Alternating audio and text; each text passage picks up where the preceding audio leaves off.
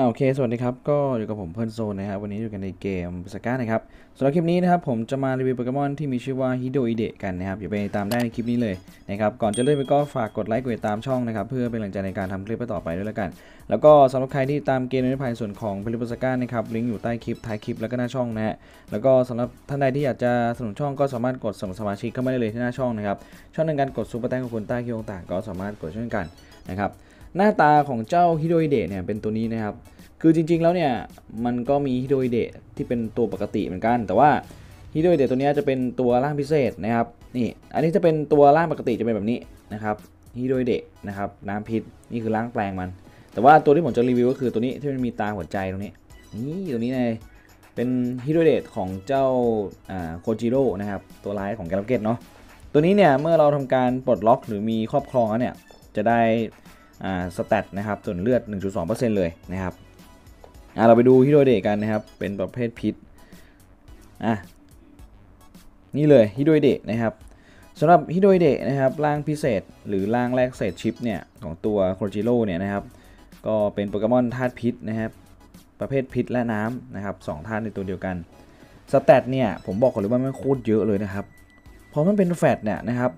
พลังแม่ง 972อะเยอะมากนะครับ แล้วแม่งถึกทั้งแบบทั้งกายภาพและเวทอะเออคือเดี๋ยวผมให้ดู stat ของตัวปกติป่ะอย่าดูนะ คือความต่างของมันอะ คือเห็นได้ชัดเลยว่ามันต่างกันจริงๆอะเออ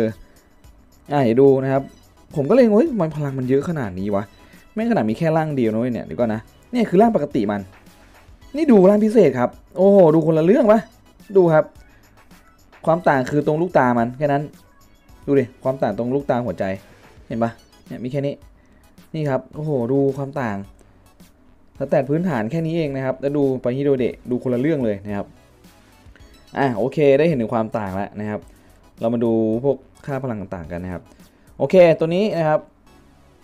ก็มี status ดังนี้เลยนะครับ ก็มีเลือด 154 โจมตีกายภาพ 130 โจมตี130 นะครับ นี่ครับป้องกันกายภาพและเวท205 เท่ากัน แล้วก็มีความเร็วค่อนข้างดีนะครับ 145 เลยนะครับตัวนี้ถ้าเกิดว่าเราดูเนี่ยนะครับเป็นโปเกมอนโจมตีสายกายภาพนะครับอ่าถ้าสายกายภาพเนี่ยนิสัยก็เป็นยึดติดนะครับแล้วก็คุณสมบัติที่1เนี่ยนะครับจริง ๆ แล้วส่วนตัวนะผมนะครับเชียร์เป็น speed up นะครับหรือไม่ก็เป็นต้าน crit ก็ได้ไม่เบียเมอร์เนาะส่วนในส่วนของอุปกรณ์ถือนะครับ เราก็ดูสกิลก่อนเป็นน้ำเป็นพิษ คือมันเป็นกึ่งผสมอะถ้าเป็นกึ่งผสมแบบนี้นะครับ ก็ส่วนใหญ่ถ้ามันมีหลากหลายสกิลไม่ได้เน้นธาตุนะครับธาตุละหนึ่งสกิลเนี่ยผมจะใส่เป็นพวกผ้าพกสีเหลืองผ้าพกสีเหลืองเนี่ยมันจะได้ให้ ATK เลยก้อนๆเลยนะครับไม่ได้ต้องสนใจว่าต้องเป็นธาตุอะไรถูกไหมฮะแล้วตัวนี้มันเป็นโจมตีกายภาพด้วยอ่าผมก็เชียร์ให้ใส่เป็น power สักครับแล้วกัน ถ้าทำอาวุธดาวได้ก็จะดีนะครับกล่องด้านในเนี่ยนะครับถ้าเน้นตี crit นะครับ อะให้ดูสกิลก่อนนะครับสำหรับตัวนี้นะครับถามว่าสกิลแรงไหมไม่ได้แรงนะครับสกิลไม่ได้แรงเน้นซีซีเพราะฉะนั้นเนี่ยกล่องด้านในเนี่ยถ้าเกิดว่าเราใส่อ่า power สครับแล้วเนี่ยจริงๆ กล่องด้านในเนี่ยผมเชียร์ให้ใส่เป็นกล่องสีฟ้านะครับต้าน crit ดีกว่าเพราะว่า stat หลักๆของเขาเนี่ยจะเน้นไปทางด้านพลังป้องกัน เพราะฉะนั้นเนี่ยพลังโจมตีมันไม่ได้เด่นนะครับเพราะฉะนั้นพลังโจมตีไม่ได้เด่นเนี่ยกล่องสีแดงไม่จำเป็นนะครับก็ใช้กล่อง สีเขียวหรือกล่องสีฟ้าก็ได้นะครับ สีฟ้าเนี่ยจะเป็นต้านคลิสีเขียวจะเป็นต้านสถานะผิดปกตินะครับ ในส่วนของ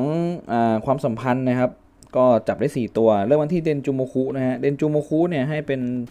พลังป้องกันเวทนะครับธรรมะธรรมะป้องกันกายภาพนะฮะเชเดอร์ให้เป็นโจมตีกายภาพนะครับ แล้วก็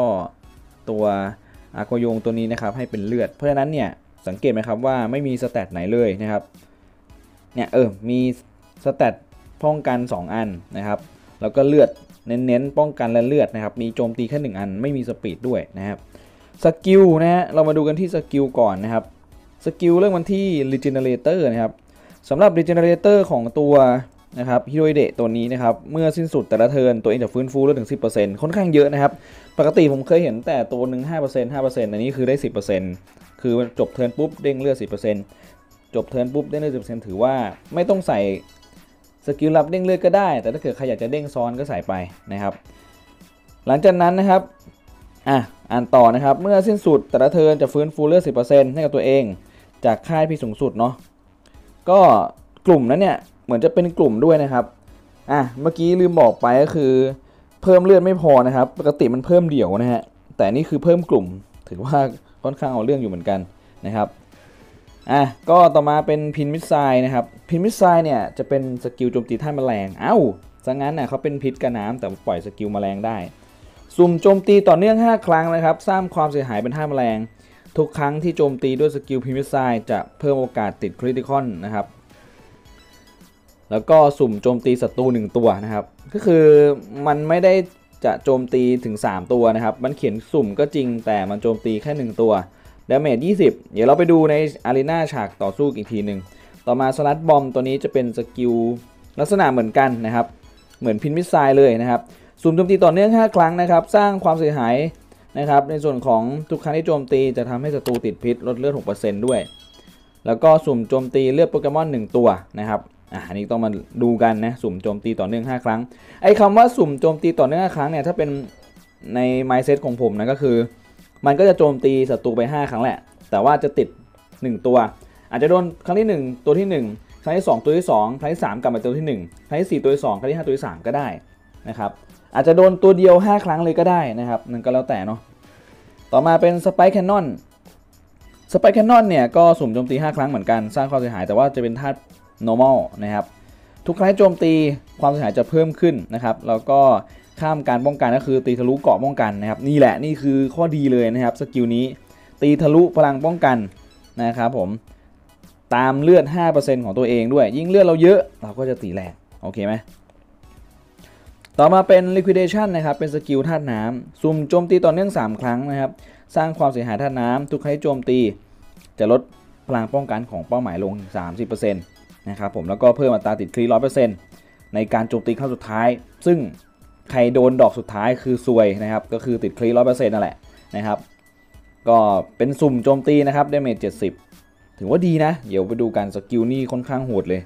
นะครับมี CC ทุกอันเลยนะครับ สังเกตได้นะครับ ต่างธาตุโจมตีเท่ากันต่างธาตุแต่สุ่มทุกท่าไอ้สุ่มทุกท่าเลยนะครับ แล้วก็ตีแรง ultimate ตีแรงมาก ในส่วนของสกิลยีนนะฮะ เป็นดีเฟน s ์จีนนะครับ ก็คือเมื่อเราปลดสกิลยีนเสร็จปุ๊บเนี่ย ก็ได้รับ damage เบาลง 10%เลย สกิลลึกลับนะครับปกติก็ใส่เป็นพวกโล่มาตาไว้ก่อนในต้านทานนะครับนี่ป้องกันป้องกันใส่ไว้เลยเลือดเนี่ยใส่ไว้เลยสำคัญมากสาห้าอันเนี่ยนะพลังโจมตีไม่ต้องไปเน้นเลยชำระล้างใส่เข้าไปนะครับแล้วก็พวก speed up อะไรเงี้ยใส่ไปได้เลย ส่วนเครื่องประดับนะครับ ก็ใส่เป็นเซตไทเทเนียมก่อนพื้นฐาน ถ้าไม่มีเนี่ยใส่ไทเทเนียมเลยนะครับก่อนอันดับแรก เสร็จปุ๊บก็กระเดิบมานะครับเป็น supreme แล้วก็แนะนำให้ใส่เป็นเดลิตี้แล้วกันนะครับประดับเดลิตี้มันถึกดีนะครับผม เนี่ยประดับเดลิตี้หน้าตาเป็นแบบนี้อยากให้ดูเนี่ยประมาณนี้ครับอะก็ตีบวกก็เยอะไปนะครับเดี๋ยวผมพาไปดูการออกสกิลกันนะครับอะไปดูกันก็เป็นโปเกมอนธาตุพิษพิเศษนะครับ ตัวนี้อ่ามาแล้วนะครับ 6 ล้านใช่ไหมเราไปดูกันนะฮะเพื่อนเราเพื่อนเราไปหาสู้นะครับอะหาตัวที่พอจะสู้ได้ก่อน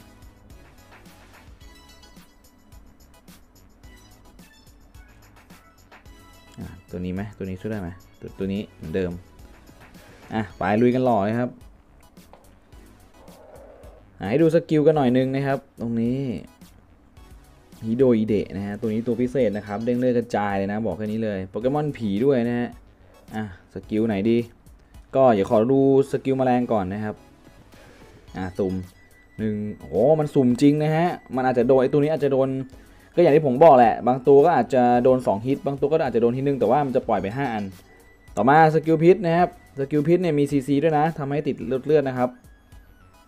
โดนทุกตัว โอ้โห แต่ว่าตัวที่ลดเลือด มีกิราติน่ารอด เอารอดไม่รอดครับ โดนทุกตัวนะ แล้วก็ส่วนสกิล normal ตัวนี้ก็คือ สร้างความเสียหายข้ามพลังป้องกัน 5%อ่า มันจะตีไม่เข้าครับเพราะว่าเป็นธาตุผี ต่อมาเรามาดู liquidation อะยังไม่มานะครับอะเป็นสกิลมาแล้วไปก่อนบึ้งบึ้งบึ้งบึ้งบึ้งบึ้งอ่าโดนตัวเดียว 5 ฮิตเห็นปะอย่างที่ผมบอกเป๊ะๆเลยนะครับ อันนี้คือความคาดการณ์ของผมเนาะอะเป็นสกิลพิษต่อครับตุบตุบตุบตุบตุบตุบอ่าโดน 2 ตัวนะครับอะเดี๋ยวดู ultimate กันนะครับ ความแรงของ ultimate เขาเนี่ยแค่นี้ก็ป่วนปันป่วนแล้วนะครับ มีทั้งการลดพลังป้องกัน การเพิ่มเลือดนะครับของเราเองทำให้ศัตรูติดพิษนะครับ แล้วก็ทำให้ตีข้ามพลังป้องกันเนี่ยอ่า reputation นะครับดูดูดูดูโอ้โหโดนทุกตัว อืมฮิตสุดท้ายติดคลีนะครับ เห็นไหมยัง เพราะว่าที่ผมบอกคือใครมันจะปล่อย 3 ลูกนะอันติเมตมันจะไม่เหมือนท่าธรรมดา ถ้าธรรมดาจะปล่อย 5 ครั้ง แต่อันติเมตดิควิเดชันจะปล่อย 3 ลูกเมื่อกี้ แล้วก็ลูกสุดท้ายเนี่ยเมื่อกี้อาซิอุสโดนคือติดคลินะครับ อืมที่ผมบอกเมื่อกี้ โดนกันไปนะครับ เอาง่ายๆเลยเลือดเรายังไม่ลดเลยเนี่ย แล้วดูเกาะนะครับ เกาะอย่างหนาเลยนะครับ เกาะหนาแล้วก็เลือดเยอะแล้วก็ถึกมากด้วยตัวละครผมอะถึกสามแสนนะครับผม เอาดิ กลัวที่ไหนล่ะครับ หลบหลีกได้ด้วย อะ ติดไป พิษไป ตุบตุบตุบตุบตุบตุบอะ ไป ก็ยังถึกอยู่อะ อืมอะ ติดแช่แข็ง ติดแช่แข็งไป ยังไงต่อ หลบได้หมดอะ อะก็เด้งเลือดกันต่อไป นี่ไม่ได้ใส่ดิสกิลไม่ได้ใส่อะไรเลยนะครับประดงประดับก็ไม่ได้ใส่อะโอเค ติดพิษก็ลดเลือดกันไปอะ ultimate เลยใครจะโดนบ้าง 3 ดอกอุ้มโอเคอะรัวๆคูณ 3 เลยนะครับ เพื่อไม่เป็นการเสียเวลาเอาบ้างครับ นี่จัดไปดีครับรออะไรครับสกิลเรามีน้อยนะครับตัวเมื่อกี้โดนไป 5 ฮิตเลย นี่ครับแค่นี้ก็ลดเลือดเรื่อยๆแล้วตอดเอาอะนะครับถึงเขาจะไม่มี damage แต่เขาใช้วิธีตอดจากพิษเอานะครับเนี่ยทีมเราโจมตีคือโปเกมอนเราเสียเปรียบทุกอย่างนะครับ แต่น่าจะสามารถเอาชนะได้นะครับเนี่ยดูดิสบายๆปะเห็นปะนะดูดิเสียเปรียบทุกอย่างครับ แต่เอาชนะได้พอมันเหลือตัวเดียวครับ คือโดนคนเดียวเลย 5 ฮิตเห็นไหมครับอ่ายิ่งเหลือน้อยยิ่งโดนหนักอะ่ะบอกแค่นี้เลยนะครับ ยิ่งเหลือน้อยยิ่งโดนหนักนะครับอะดึงเรือที่ห้าแสนล้านหนึ่งเงี้ยอะลงมาดินะครับ เดี๋ยวก็จะรู้เอง มันใช้นั่นอยู่สกิลหลบซ่อนอยู่นะครับมาแล้วโผล่มาแล้วมาแล้วครับ liquidation ครับ เรียบร้อยอะประมาณนี้นะครับสำหรับเจ้าฮิโดอิเดะนะฮะก็เป็นตัวหนึ่งที่น่าสนใจมาก ๆ เลย โอเค ก็ก่อนจะจากกันนะครับ ฝากกดไลค์กดแชร์กด subscribe เจ้ามันโซนนะครับ เพื่อเป็นกำลังใจให้กันด้วยนะครับ แล้วก็อย่าลืมกระดิ่งไว้แจ้งเตือนคลิปใหม่ๆเพื่อใหม่คลิปหน้านะครับผม see you again สวัสดีครับ